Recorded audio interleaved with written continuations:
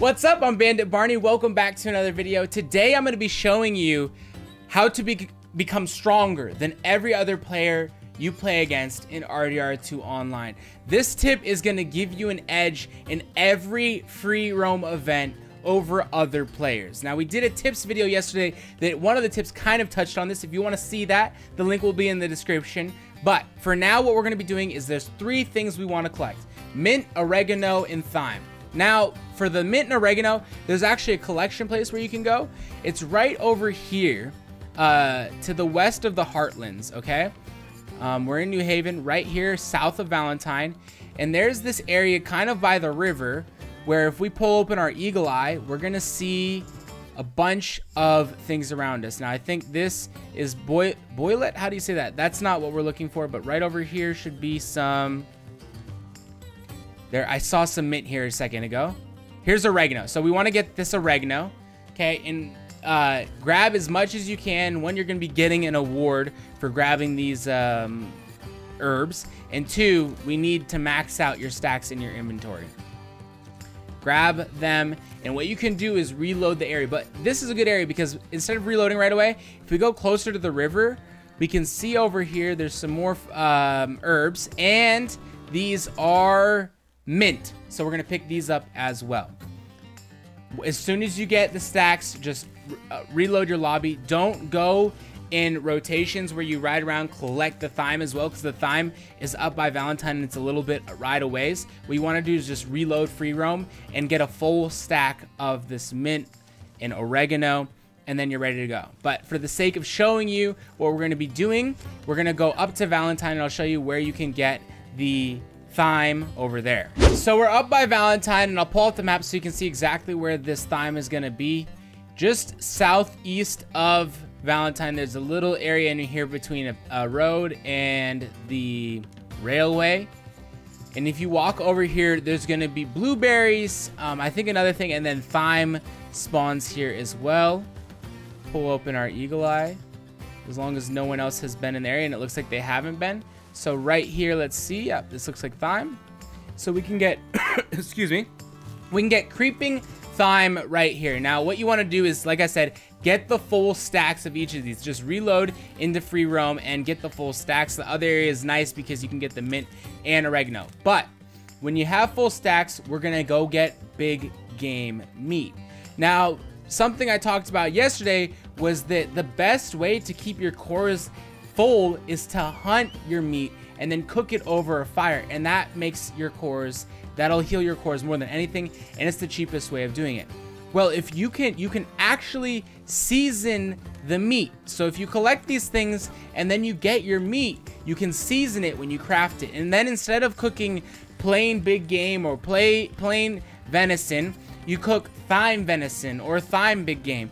And when you cook thyme uh, venison or any other meat besides big game, what it's going to do is it's just going to increase the core value that that meat will give you. So I think uh, thyme is for deadeye, oregano is for health, and I think mint is for stamina.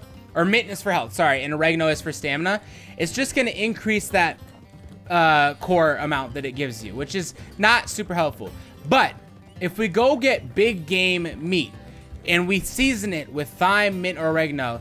In that respective core, we'll get a gold core for an entire day.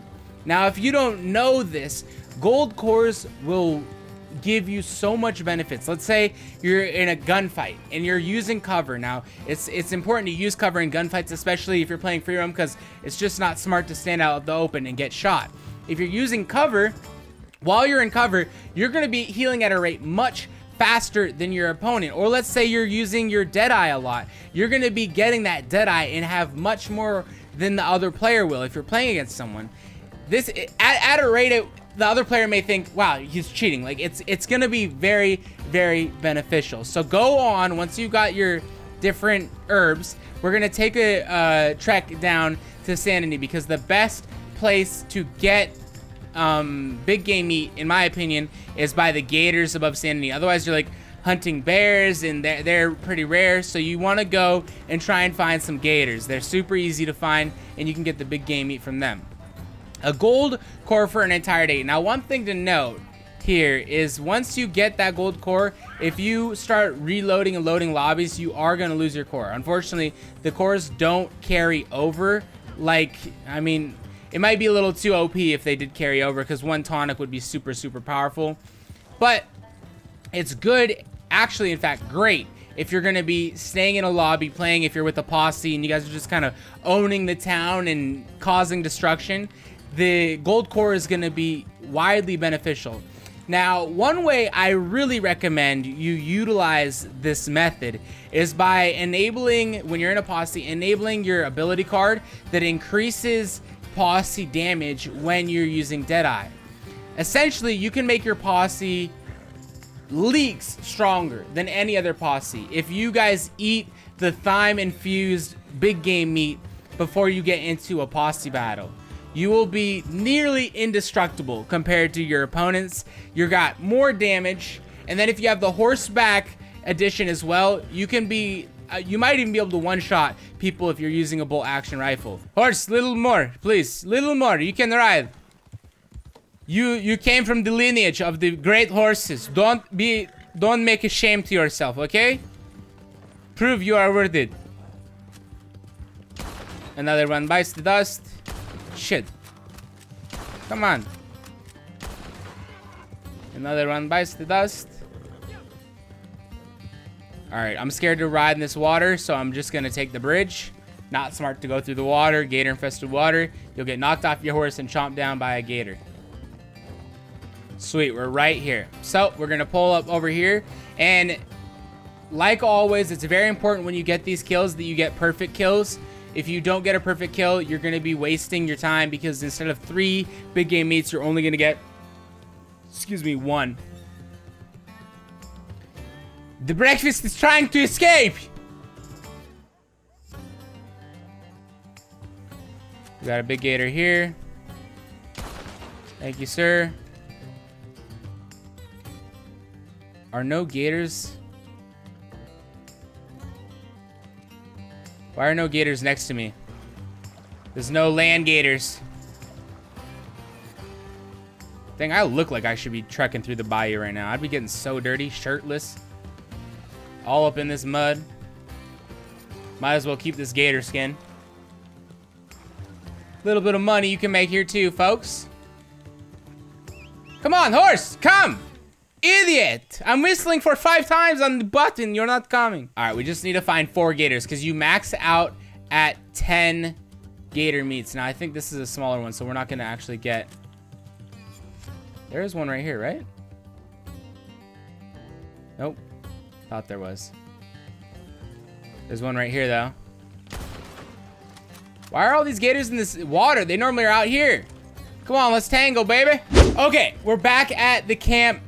Now, you can find campfires in certain cities. I know Valentine has one. I tried a couple in Blackwater and they just didn't allow me to craft at them, so I'm not sure what's up with that.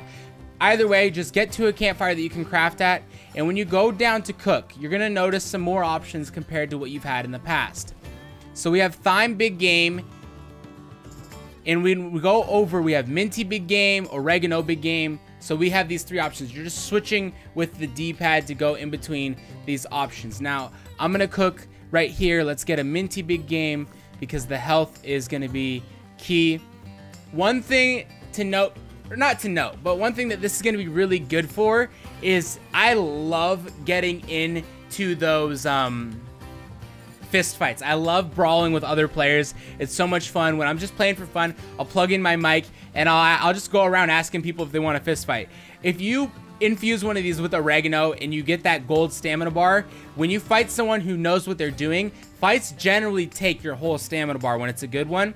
You're going to go through that stamina bar, but with a gold stamina core, you're going to have a massive edge over the other player virtually making you indestructible in boxing matches. When you're shooting, as long as you're smart and you use the gold core to your advantage, you're gonna. It, it's just so smart, and I haven't seen anyone use this. Now I know I'm not, I'm not the first person to do this. I know that. But it's not a common thing other players are doing. And all you have to do is take a little bit and you and you're you're set. You can just go and get yourself set up to have this advantage over every other player. It's a sick. It's sick.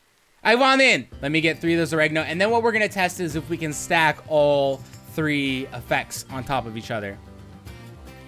Because full gold cores is something I haven't seen before. And we just want to witness it right here, don't we? So we've cooked those. I already have some of the Thymes one when I was just testing this out earlier.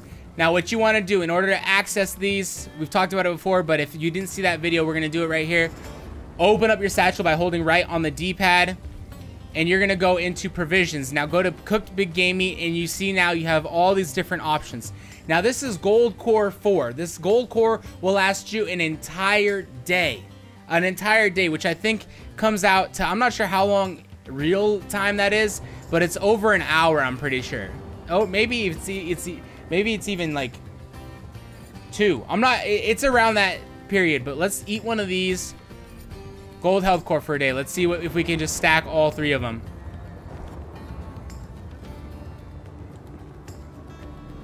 Gold Deadeye. Let's go, baby. And gold stamina. Boom. So ahead of every other player. Now look, look, let's just test how quickly this stamina bar comes back.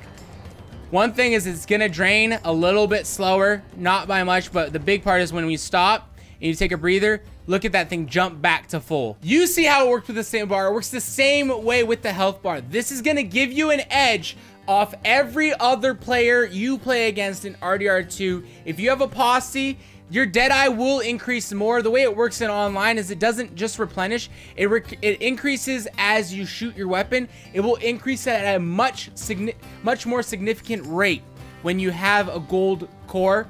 Go out there, take a little bit to get yourself set up with the thyme, oregano, and mint, and give yourself and your posse an advantage over everyone else you're playing against. I hope you found this video helpful. If you did, make sure to hit that like and subscribe button. Really appreciate all the recent support y'all have shown the channel. We just hit 200 subscribers today. Uh, big mark starting out from zero two months ago. We're going to see how far we can take this thing. Thank you. Appreciate you. And I hope to see you in a future video. Take care.